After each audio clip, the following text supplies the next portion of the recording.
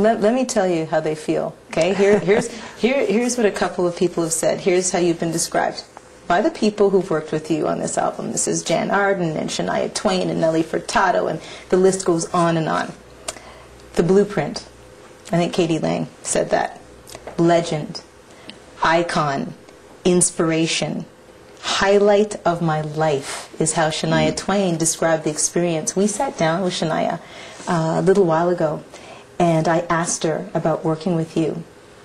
And if you could see, it, her face just sparkled, shone like a, like a bright light. Just the mention of your name, and she said, "Her music means so much to me.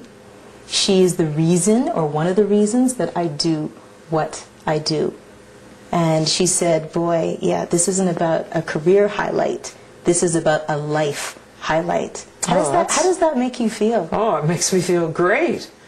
It, I mean, I have a, a great deal of respect for Shania Twain, and I'm a fan. So, uh, yes, I, I'm very flattered.